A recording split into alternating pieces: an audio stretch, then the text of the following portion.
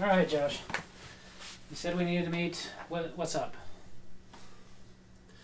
I've been giving it a lot of thought. The name of the show we do together, Yeah, brothers not lovers. What?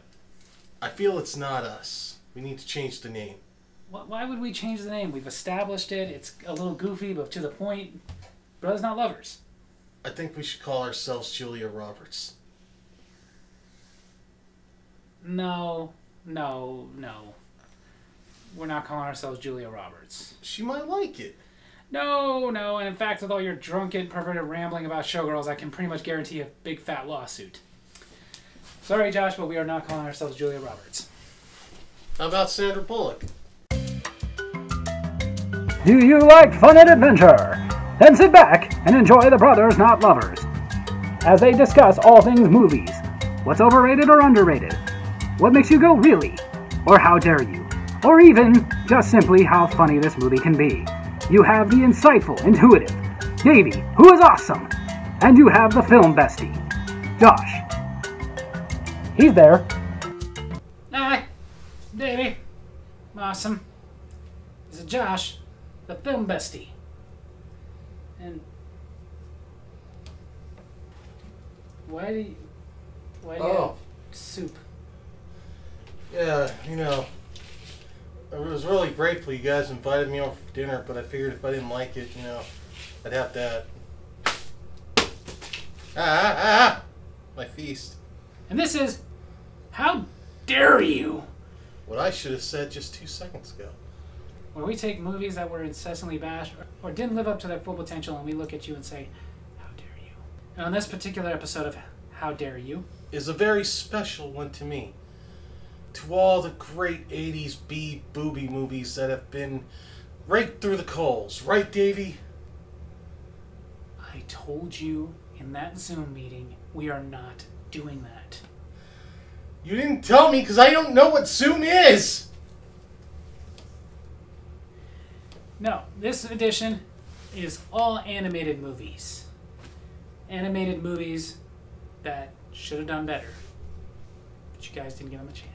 To kick it off, one that, yes, I'll admit, was a little environmentally preachy. But you know what? It had Tim Curry, it had Robin Williams, it had Christian Slater, and back when he was still dreamy and yet it very quickly faded into obscurity. Of course, now it's making a resurgence thanks to hipsters. Damn hipsters. And that movie is Fern Gully The Last Rainforest. How could you not make this the legendary movie it was supposed to be?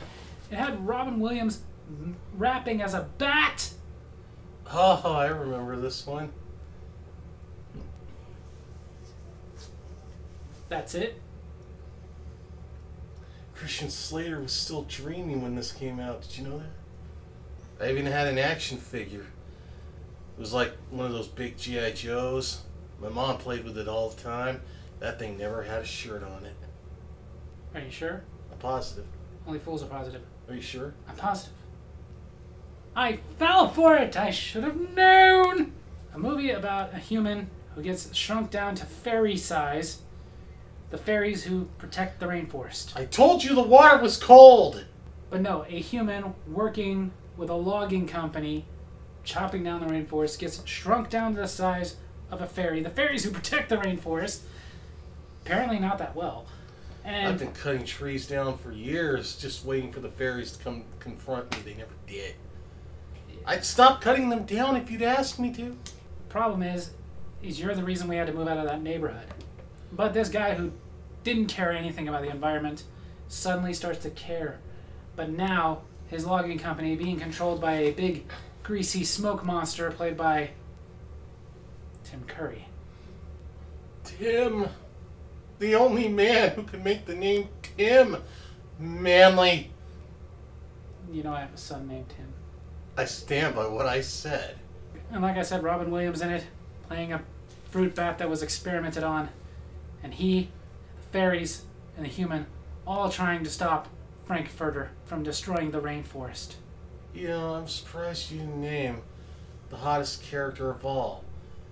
The voice of the main girl in that was that hot chick from Mario Brothers. This movie taught us the importance of the rainforest. And even though we learned and did nothing about it, I still say, how dare you? How dare you? We gotta finish cutting them off. Cut them all down and we'll stop monsters, smoke monsters, from taking over the world. The rainforests are making it happen. Right? Yeah! You need to watch the movie again. What movie? And for our next, how dare you? This great remake of an animated classic starring Russell Brand as a rich miser. DuckTales. Treasure of something and something.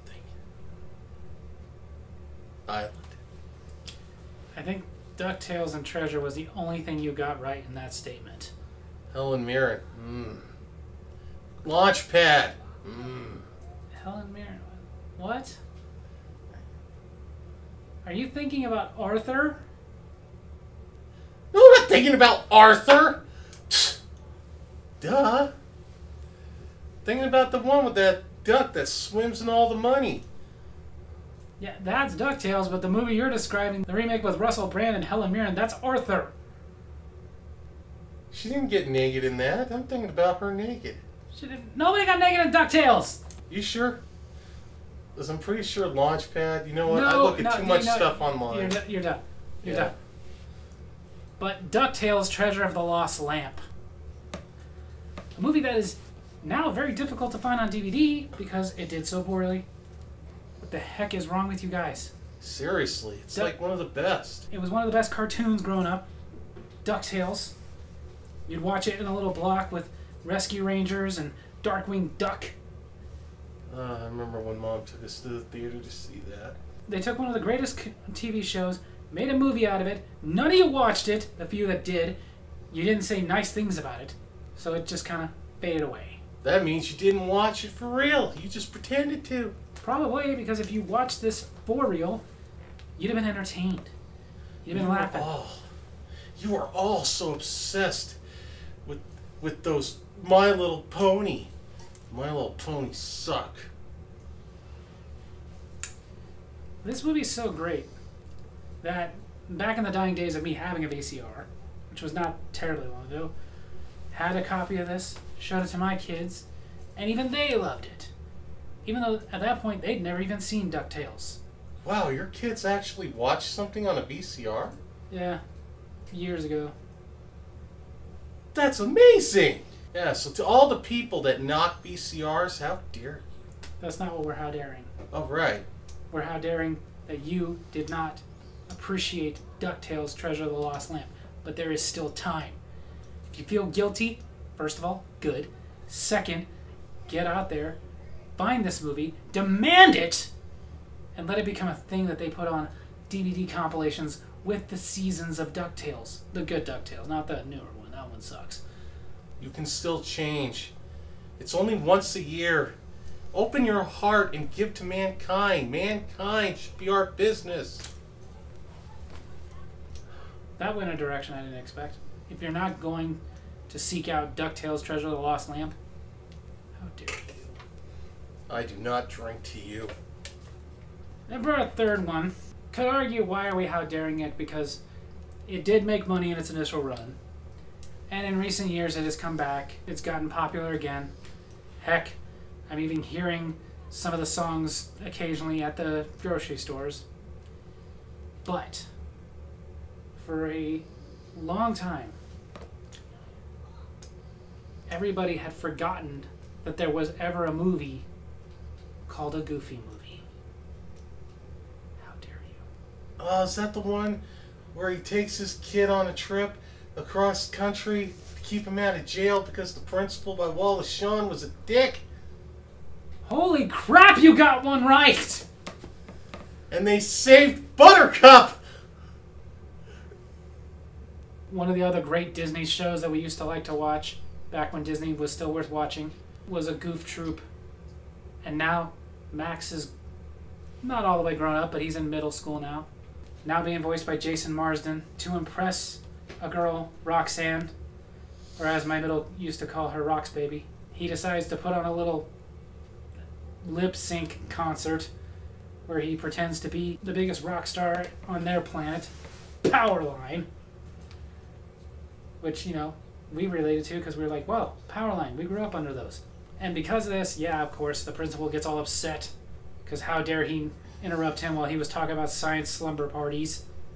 Which, don't get me wrong, always down for a good science slumber party, but still, exaggerates the point, tells his dad that he's going to end up a gang member, so his dad, trying to bond with him, takes him on a trip, and his son detours that trip all the way to Los Angeles to go to a Powerline concert, and along the way, they have the cheesiest looking pizza I have ever seen, and I wish they could do in real life.